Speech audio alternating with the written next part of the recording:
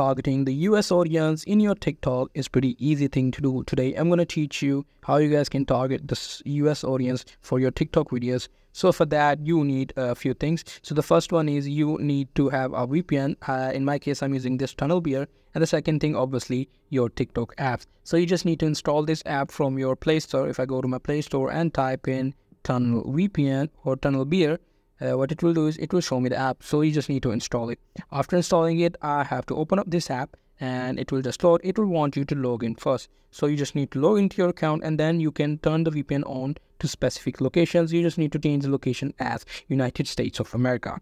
So after that you just have to start posting your content and make sure uh, nothing in your account has been linked to your country's region. So you just need to create a new account if you have already linked with a lot of things and you need to start posting your content. May try to post your content in, in the uh, American style and try to post the content in English. So that's how you guys can perfectly mimic the content in United States, and the TikTok algorithm will definitely take it as a US content, and it will try to grow your content in US USA. So that's pretty much it. That's how you guys can target the audience in USA in TikTok. Hope you guys find this video helpful.